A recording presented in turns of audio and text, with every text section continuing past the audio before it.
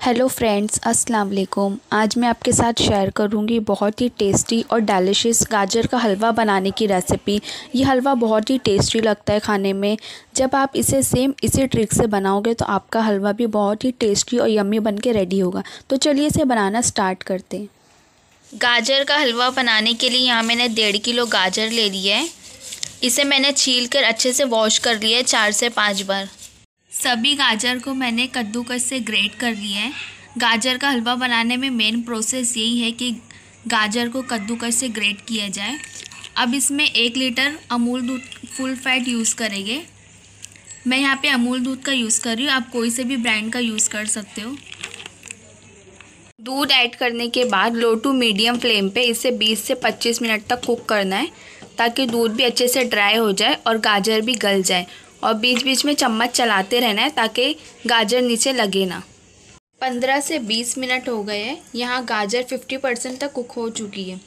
अभी हमें इसे और कुक करना है लो टू मीडियम फ्लेम पे पंद्रह से बीस मिनट तक, ताकि इसमें जो एक्स्ट्रा दूध है वो ड्राई हो जाए। यहाँ गाजर का पानी सूख गया है। अब उसमें तीन कप शक्कर ऐड कर लेंगे। शक्कर आप लोग अपने टेस्ट के हिसाब से कम ज़्यादा कर सकते हो। शक्कर ऐड करने के बाद इसे और कुक कर लेंगे आधे घंटे तक, ताकि इसमें जो एक्स्ट्रा मिल्क है वो भी अच्छे से ड्राई हो जाए। और बीच बीच में चम्मच चलाते रहना है। दूध अच्छे से ड्राई हो गया है। अब हम एक मिनट के लिए गैस की फ्लेम को हाई कर देंगे और इसे मिक्स करते हुए लगातार इसे और एक मिनट तक कुक कर लेंगे, ताकि जो इसमें थोड़ा बहुत एक्स्ट्रा दूध है वो भी ड्राई हो जाए अच्छे से। यहाँ मैंने 50 ग्राम काजू, बादाम और पिस्ता ले लिया। इसे मैंने फ़ाइन चॉप कर लिया है। गाजर के हलवे को और भी ज़्यादा टेस्टी बनाने के लिए सबसे पहले टू टेबल स्पून देसी घी को गरम कर लेंगे। जब घी अच्छे से गरम हो जाए तो उसमें चार से पाँच छोटी इलायची बीच में से कट करके ऐड कर देंगे।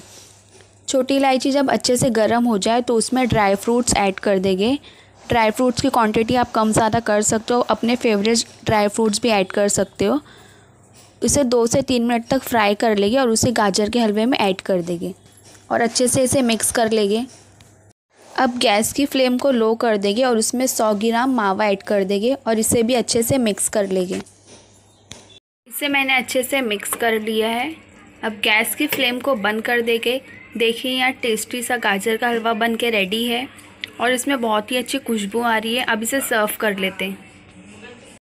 देखिए, यहाँ टेस्टी गाजर का हलवा बन के रेडी है। आप लोग भी इसे ज़रूर ट्राई कीजिए। वीडियो अच्छी लगी हो तो प्लीज़ इसे लाइक कीजिए शेयर कीजिए और सब्सक्राइब करना ना भूलिए। तो मिलते हैं फिर एक नई वीडियो के साथ। Thanks for watching the video अल्लाह हाफिज़।